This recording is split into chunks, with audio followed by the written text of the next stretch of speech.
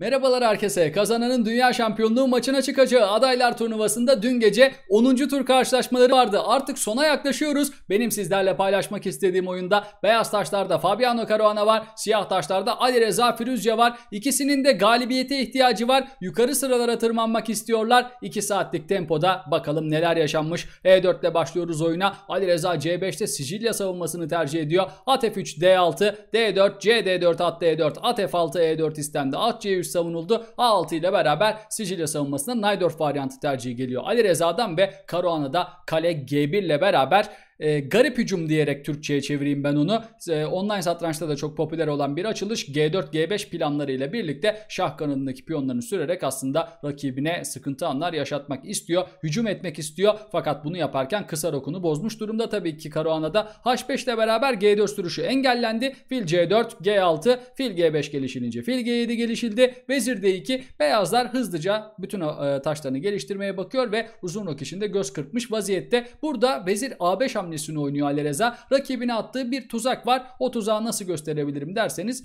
Kötü bir hamle yapayım. Haşuş gibi bir hamle yapayım mesela beyazlara. İşte burada at çarpı E4 ile siyahlar hafif aletini feda edebiliyorlar ve ne, ne yaptık yani hafif aleti feda ettik. Buradaki olay at çarpı E4 alındıktan sonra vezir çarpı D2 ve siz hangi taşla alırsanız alın atla, fille, şahla fark etmez. Fil çarpı D4 boşta kalacak ve siyahların bir piyon öne geçtiğini göreceğiz ama buradaki vezir A5 hamlesi bu tuzağı atarken zaten beyazların doğal bir gelişim hamlesi bunu engelliyor. Caruana da onu oynuyor. Uzun rok. Uzun roktan sonra Karaoğlan adına gerçekten iyi şeyler söylemeliyiz. Burada beyazlar e, piyonlar hariç bütün taşlarını birer kere oynamış durumda ve iyi bir gelişim sergiledi. Siyahlarsa şahını nereye koyacak belli değil. Vezir kanadında problemler var ama Ali Reza'nın tercihi tamamen bu açılış oldu. Ali Reza biraz daha rakibe üstünlükler verilse de karşılıklı hücum planlarının olduğu bir oyun istiyor. Fakat e, at C6 ile tabii ki gelişiminde sürdürmek durumunda. D4'teki atla değişilmek istenirken burada Karahan'ın hamlesi at B3. Ali Reza ne kadar taktik savaşların olduğu karışık ters kanada atılan roklar istese de burada Karahan'a at B3 hamlesiyle beraber Ali Reza'yı bir hamleye zorluyor. İşte o hamleyi görünce de Ali Reza birazcık gülümsemeye başladı oyunda. Çünkü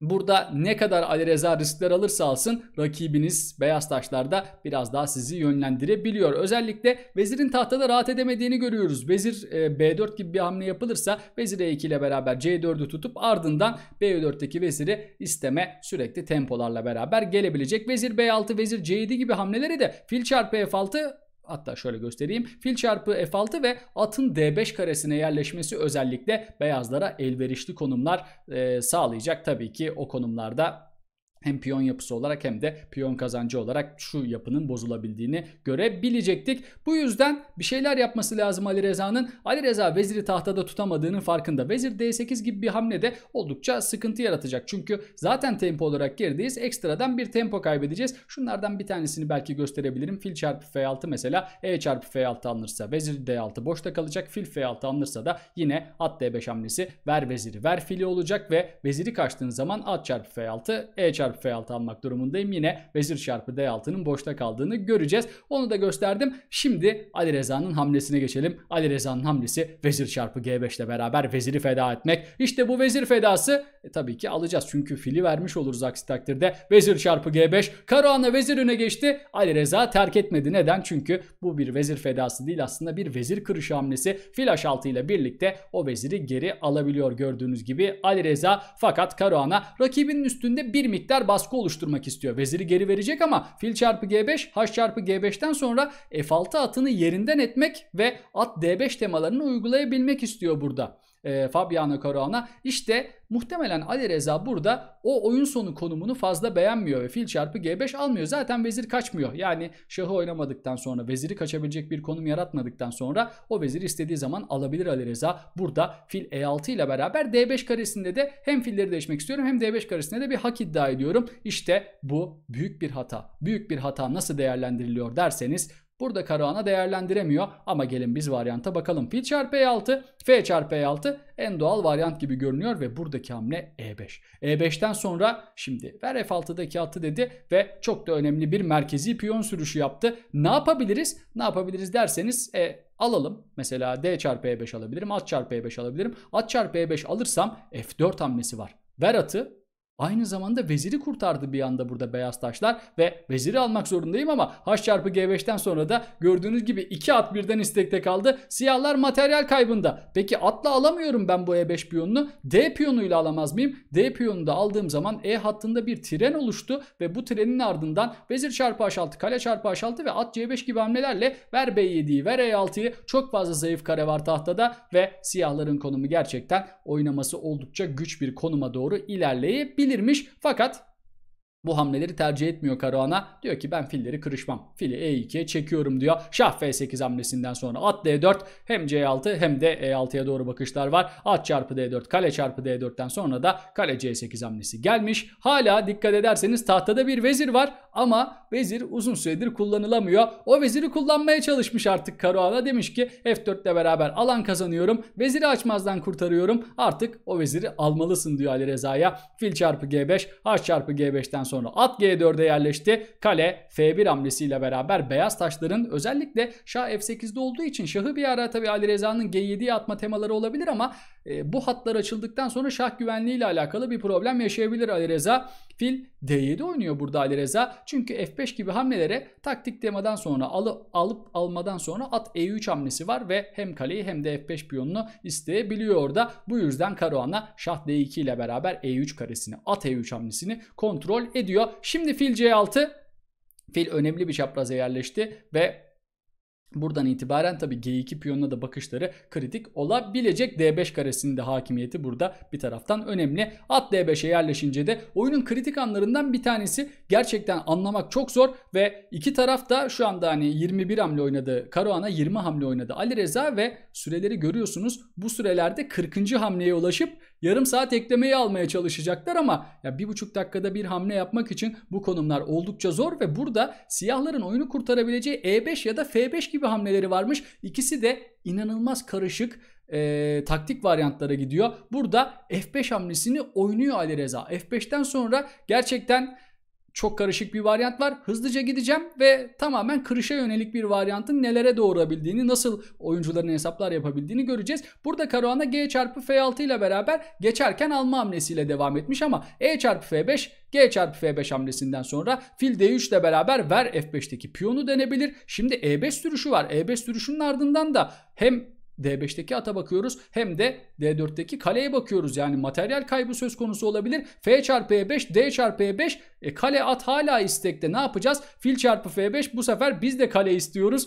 Ada rakip D4'teki kaleyi alabilir. Biz C8'deki kaleyi alarak şah çekebiliriz. Şimdi şah G7 hamlesinden sonra bir taraftan at bir taraftan fil istekte kalacak ama bütün bu olayların sonucunda fil çarpı G4, fil çarpı D5 ve fil F3 hamlelerinin ardından tahtaya baktığımızda 5 piyonu 4 piyon kale file kale fil bir yapı kalabiliyor. Oyuncular buna benzer birçok hesabı yapabiliyorlar ve çok daha tabii ki e, sağlıklı bir şekilde ağaçları e, bütün e, o ağaçları diyelim hamle ağaçlarını hesaplamak durumundalar. G çarpı F6 alınıyor burada. Daha sade bir varyanta gidildi. At çarpı F6'dan sonra ise aslında Ali Reza'nın istediği şu at çarpı F6 E çarpı F6 kale çarpı D6 alsın rakip yani bedavadan piyon veriyoruz. F6'ya da bassın diyoruz. E4 F4 de burada ne güzel diyoruz diyeceğim ama tabii ki öyle değil. Yani siyahlar ne piyonu veriyorsa karşılığında illa bir yere baskısı var. Özellikle fil çarpı E4'ten sonra sen F6'yı kolay kolay alamıyorsun. Kale çarpı F6'dan sonra şah G7 var. Şimdi kaleyi kaçmak zorundasın. Rakibin C2'ye doğru bakışları var. G2'ye doğru bakışları var. Hepsi çok tehlikeli olabiliyor. Bir anda siyah taşlar avantajı eline geçirebiliyor. At F6'dan sonra C4 hamlesiyle devam ediyor. Ee, Karahan'a tabii ki bu varyantları biraz önce baktığımız varyantları hesapladı. Rakibinin C2'ye bakmasına asla izin vermeyecek ve D5'teki atını C4 piyonunu sürerek kontrol ediyor destekliyor. Şah G7 hamlesinden sonra at çarpı E7 ver C8'deki kaleyi ama öncelikle at E4 şah çekiyor burada Ali Reza. Şah D1'e kaçılınca at G3 sen benim kalemi istiyorsan ben de senin kaleni istiyorum. Burada Karahan'a kale E1 kaçınca at F5 kale at çatalı atıldı.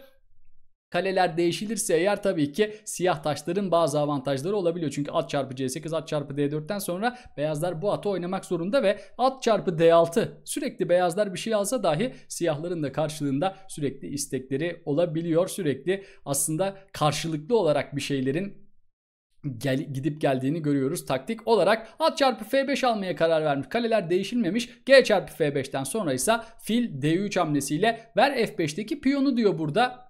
Karahan'a Ali Reza'ya ve kale CF8 o piyon savunuldu. Kale çarpı D6. Şimdi tahtayı saydığımızda evet tahtada bir piyon üstünlüğünü eline geçirdi. Karahan'a kale F6 gel kaleleri değişelim. Kaleleri değişmek istemiyor. Bu piyon üstünlüğü şahın aktifliğiyle beraber aslında ve G2'ye de tabii bakışlar olduğu için burada önemli bir şekilde ee, azaltılabiliyor diyeyim. Çünkü H piyonu da oldukça tehlikeli bir piyon haline gelebilir. Her an C5 sürüşü geliyor burada. D6'yı destekliyor ve Ali Reza adına kritik konumlardan bir tanesi oyuncular 30. hamleyi yapmak üzereler. Beyazlar 30. hamlesini yaptı. Ali Reza da burada 30. hamlesini yapacak ve 10 hamle var bu sürelerde oynamaları gereken. Burada işte Ali Reza H4 oynuyor. Ali Reza'nın kale çarpı D6 ile devam edip C çarpı D6'dan sonra bir şekilde bu D piyonunu kontrol altında alabildiğini görmesi hesaplaması gerekiyormuş. Ali Reza ise H4 sürüşüne başvuruyor. Tabii ki burada şunu düşünebilirsiniz ya fil çarpı G2 bedava piyon diyebilirsiniz ama oradaki sıkıntı kale G1 ile beraber sıkıntı yaşamanız ve G2'deki film burada boşta kalması durumu olacaktı. H4 hamlesinden sonra kale E7 şah, şah G6, F6'daki kaleyi savunmak zorundayım. Kale E5 ile beraber F5 karesinde bir e, bakış oluşturuldu. Tabi F6 karesi değiştirilebilir ve F5'teki piyon düşebilir burada. İşte F5'teki piyonu savunmak için Ali Reza'nın hamlesi kale H5 oluyor. Kale H5 büyük bir hata ve bu hatayı değerlendirebilmek için kale D8'den sonra kale G8 gibi planlara kale D8 rakip tutarsa eğer fil C4 kale G8 gibi planlarla beraber beyazlar siyah, siyah şahı sıkıntı pozisyonlara sokabilirmiş ama fil F1'e dönüyor burada Karahan'a ve diyor ki ben G2'deki piyonumu savunuyorum. Artık süreler çok azaldı ve oyuncuların bu sürelerle çok fazla hamle yapması gerekiyor. Şimdi Ali Reza'nın ayağına beraberlik fırsatı geldi. Kale çarpı D6, C çarpı D6'dan sonra kale H8'e dönülüyor ve bir şekilde D piyonunu kontrol altına almaya çalışacak. Kale E6, şah Şah F7 hamlesinden sonra da fil C4 ile birlikte tehlikeli bir açmaz kale açarak şah çekilebiliyor. Fil şah çekebiliyor. Buna dikkat edilmesi lazım ve Ali Reza'nın 56 saniyesi Karahan'ın 1 dakika 27 saniyesi var.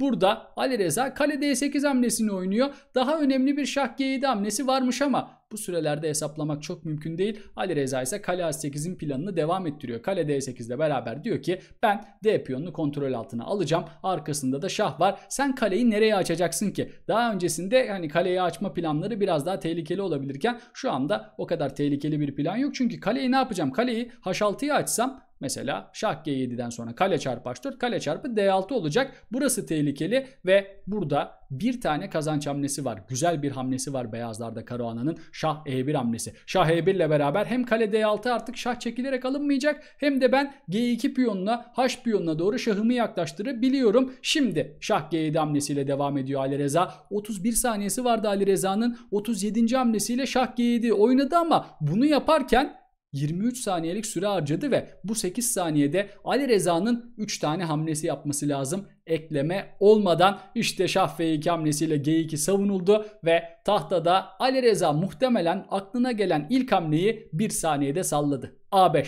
A3 Karahan'a da benzeri bir şey yaptı diyebilirim. B5 sürüşü de geliyor. Yine bir saniyede oynadı Ali Reza. Fil D3'e çekildi. Ver F5'i dedi ve fil D5 hamlesiyle sen piyonu istersen ben kaleyi isteyelim diyerek burada Ali Reza rakibini artık 40. hamleyi yaptığını belirtiyor. Bunu yaparken de sadece 3 saniyesi vardı Ali Reza Firuzcan'ın ve bunu yaptı ama Ali Reza artık kayıp konuma girdi. Neden kayıp konuma girdi derseniz hem F5 piyonu hem B5 piyonu çok fazla açıldık orada. Çok fazla yani bir saniyede hamle yapınca tabii ki mantıklı hamle yapmanız da çok mümkün olmuyor. Kale E7 şah çekildi. Fil F7 ile beraber kapatıldı. Bu da çok çok büyük bir hata. Neden diyeceksiniz? Fil F7 hamlesinin ardından burada D6 piyonunu alamayacağını söylüyor Ali Reza'nın bu hamle. Fil çarpı B5'ten sonra kale çarpı D6 alınırsa eğer şimdi Fil C4 hamlesi var. F7'de açmazda kalan file baskılar var. E biz fil kaybetmek istemiyorsak ne yapacağız? Kale F6 ile beraber orayı tutmam gerekiyor. Ama kale F7, kale F7, fil F7, şah F7 hamlelerinin ardından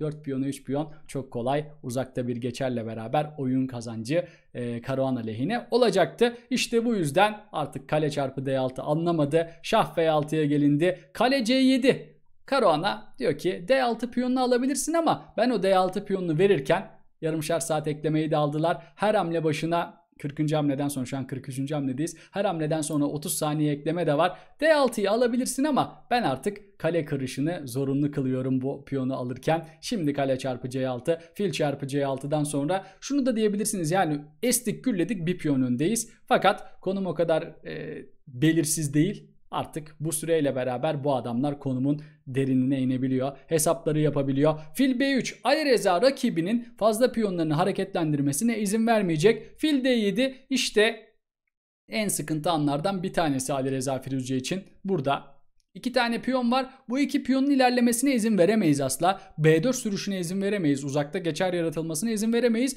Bu yüzden fil en iyi konumunda. Şah F5'i tutmak zorunda çünkü fil orayı istiyor ve oraya bağlanmış vaziyette. Şah da F6 ve G6 oynayabilir sadece ve zaten şu anda onu yapmış. Fakat beyazların bir tane fazladan taşı var. Şah. İşte o şah Şah G1 hamlesini yapınca burada Ali Reza 47. hamlede oyunu terk ediyor. Neden diyeceksiniz? Sebebi şu. Şah H2'ye gelecek, H3'e gelecek, H4'ü alacak. Bunu engelleyemeyiz. Nasıl engelleyebiliriz? Fili oynarsak eğer mesela fil C2 hemen B4 hamlesi oynanacak. Şimdi AB4, AB4 alındıktan sonra özellikle B piyonu çok kuvvetli bir geçer haline gelecek ve biz bir şekilde Hani fil E4 ile birlikte bu çaprazı kontrol altına almaya çalışmalıyız ama burada da şöyle bir plan var. B5 oynayıp fil C6 oynayabiliyor. Ardından bu piyon güle oynaya vezire doğru çıkmak isteyecek. İşte gördüğünüz planlar burada beyazlar adına çok basit planlar. Özellikle bu adamlar için çok basit planlar. Eğer bunu yapmazsa, fili oynamazsa bu sefer şahı oynaması gerekecek. Şah F6 hamlesinden sonra da daha önceki plan bu piyona doğru sarkmak olacak ve Karahan adına gerçekten kolay bir galibiyet oldu diyebilirim. Son konum fakat oyunun öncesinde gerçekten karmaşık pozisyonlar vardı. Ay iki tarafa da galibiyet gerekiyordu ve Karahan'a bir şekilde kazanmayı başardı. Adaylar turnuvası çok kritik ve heyecanlı bir şekilde devam ediyor. 10. tur geride kaldı ve puan durumunu ekranlara şöyle getireyim. İlk 5 yarım puanla ayrılıyor. Gukesh ve Nepo 6 puanda, 5.5 puanda Pragnananda, Nakamura ve Caruana var. 5 puanda Vidit. Sadece Ali Reza'nın 3.5 ve Nijat'ın 3 puanı var. Yani son iki sıradaki Ali Reza ve Nijat'ın şampiyonluk şansları yok ama yani en azından öyle düşünüyorum şu anda. Matematiksel olarak da muhtemelen öyledir. Çünkü çok zor görünüyor yetişmeleri. Bu yüzden açıkçası hala kimin şampiyon olacağı, bu turnuvada kimin birinci olacağı ve dünya şampiyonluğu maçına kimin çıkacağı belli değil. Son dönemin en heyecanlı turnuvalarından bir tanesi. Bugün turnuvanın dinlenme günüydü. Yarın 21.30'da 11. tur karşılaşmalarıyla bu kanalda canlı yayında buluşmak dileğiyle. Hoşçakalın.